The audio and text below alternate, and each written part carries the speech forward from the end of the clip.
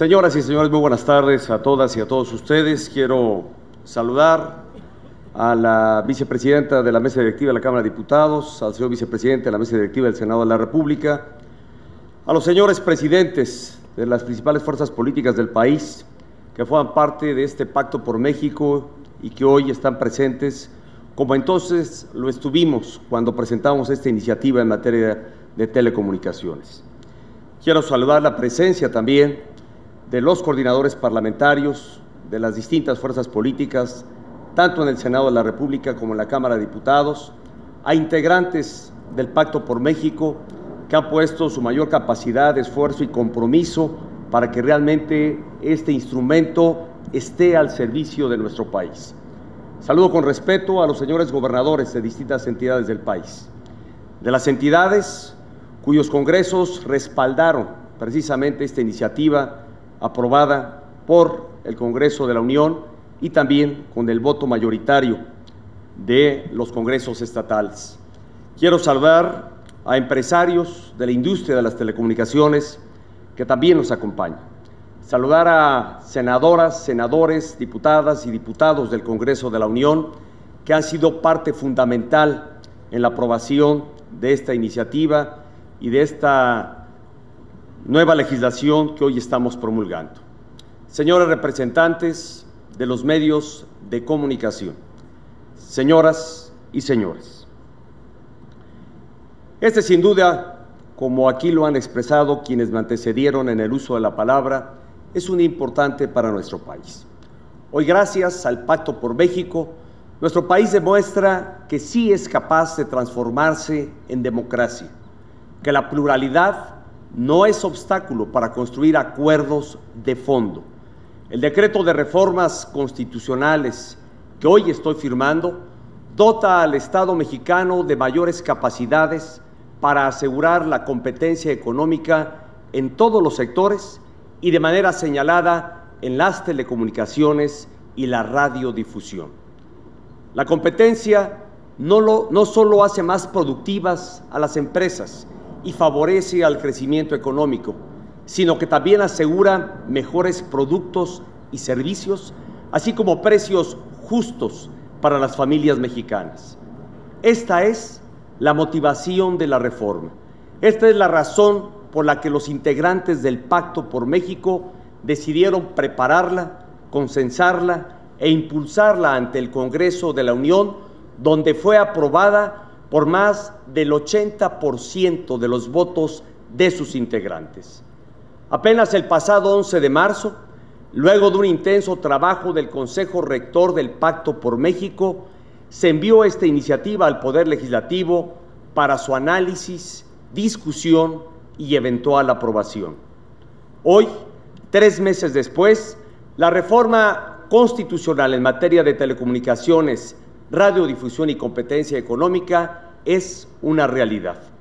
Reconozco el serio y comprometido trabajo legislativo que requirió semanas de revisión, ajustes y mejora a la iniciativa, tanto en la Cámara de Diputados como en la de Senadores. Con objetividad, y visión de futuro, los legisladores enriquecieron esta reforma y el Congreso de la Unión la declaró constitucional una vez que tuvo el respaldo de la mayoría de las legislaturas estatales. Este proceso no estuvo exento de diferencias propias de un régimen democrático.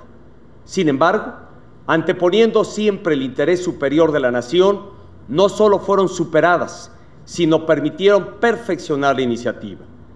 Al igual que lo fue la reforma educativa publicada en febrero pasado, se trata de un logro de todos los mexicanos, especialmente de los dirigentes de los partidos y los legisladores, quienes asumieron su compromiso con la sociedad mexicana. Resultados como este confirman que el Pacto por México es un gran espacio de diálogo y concertación política para concretar la agenda de reformas transformadoras que el país requiere. Los componentes de esta reforma son muy variados. Sin embargo, quiero destacar seis ejes principales. Primero, fortalecimiento de derechos fundamentales. Se amplían las libertades de expresión y de acceso a la información, así como los derechos de los usuarios de los servicios de telecomunicaciones y radiodifusión. A partir de esta reforma, las telecomunicaciones son servicios públicos de interés general, por lo que el Estado garantizará que sean prestados en condiciones de competencia, calidad, pluralidad, cobertura universal, interconexión, convergencia, acceso libre y continuidad. Segundo eje, actualización del marco legal del sector telecomunicaciones.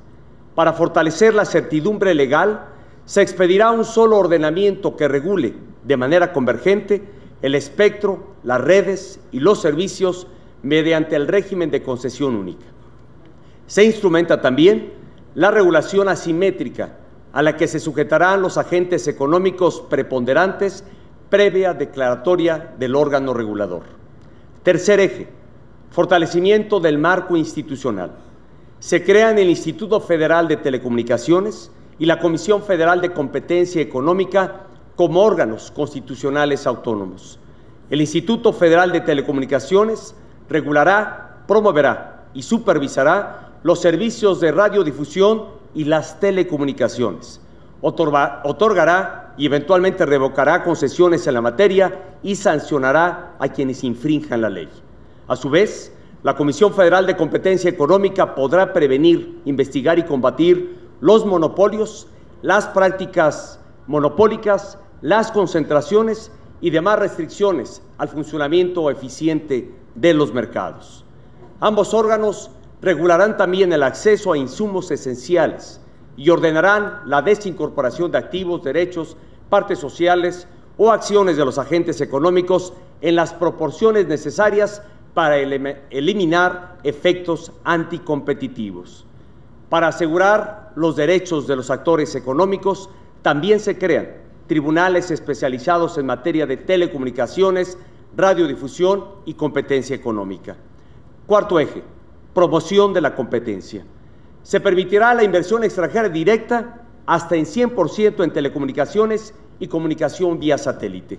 Asimismo, se autorizará hasta en un máximo de 49% en radiodifusión siempre que exista reciprocidad en el país donde se encuentra constituido el, eh, inversionista.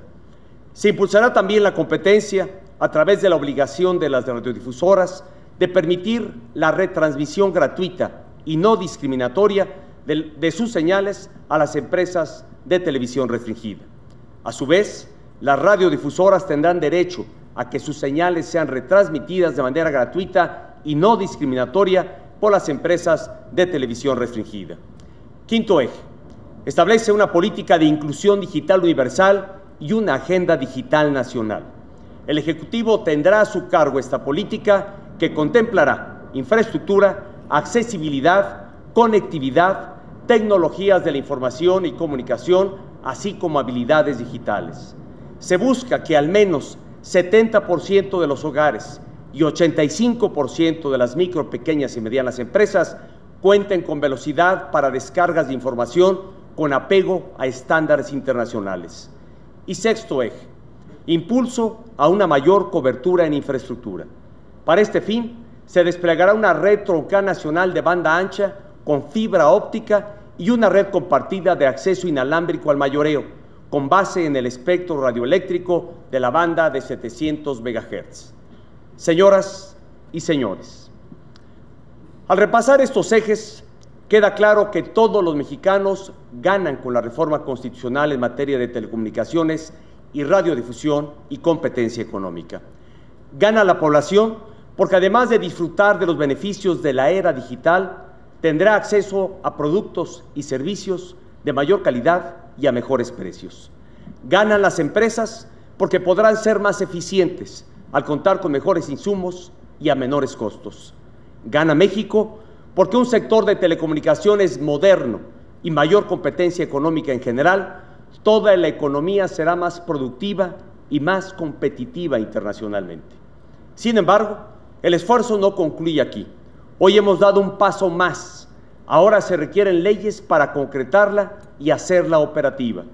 Los alcances de la reforma constitucional debe reflejarse en las leyes reglamentarias el paso audaz que hoy se ha dado debe consolidarse con la legislación secundaria.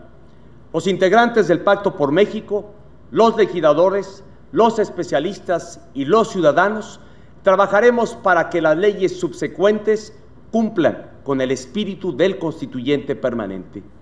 Continuaremos los esfuerzos para que la competencia económica y la modernización del sector de las telecomunicaciones nos permitan democratizar la productividad y con ello elevar la calidad de vida de las familias mexicanas.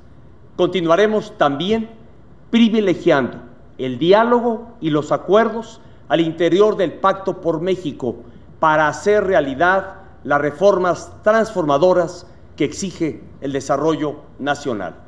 Una vez más, quiero reiterar mi felicitación a todos los integrantes del pacto, porque este, además de ser un medio, un instrumento de diálogo y de concertación, creo yo, y estoy convencido, de que tiene un carácter mayor a este.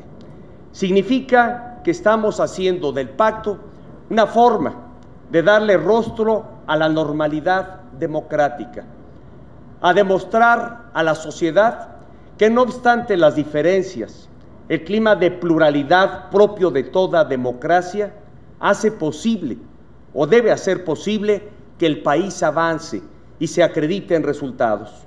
No importa el espacio de participación de cada una de las partes del pacto, a veces como gobierno, otras como oposición, pero al final de cuentas, en los distintos órdenes de gobierno, todos los partidos encaran cualquiera de estas responsabilidades. Y no importando ellas, lo importante es este espíritu, esta voluntad comprometida para que realmente hagamos del Pacto por México un instrumento de transformación y que permita privilegiar el desarrollo y el progreso de la nación. México ha dado pasos muy importantes dentro de su democracia. Ahora se trata de que en democracia, de que en pluralidad, y en este clima de diferencias propias de un régimen democrático, hagamos posible que México pueda concretar acuerdos que permitan, a través del consenso y respaldo mayor o mayoritario, realmente darle forma a todas estas iniciativas y cambios estructurales que el país necesita, demanda y son parte fundamental para el desarrollo y el progreso que la nación deba tener en los años por venir. Yo hago votos porque este espíritu, este espíritu que ha permitido esta, este acuerdo, este pacto por México, esté por encima de cualquier coyuntura, de cualquier particularidad, que privilegiemos lo más importante, lo que hoy demanda todos los mexicanos. Me felicito de estar aquí y, me, y felicito, insisto, a todos los integrantes del Pacto por México. Felicito a todos los legisladores, tanto en la Cámara de Senadores como en la Cámara de Diputados, que con gran compromiso han asumido y asimilado este espíritu de acuerdo y de consenso para darle forma a los grandes cambios estructurales que el país necesita. Felicidades a todas y a todos ustedes. Hago votos porque esta ruta siga permitiendo que el país avance. Muchas felicidades.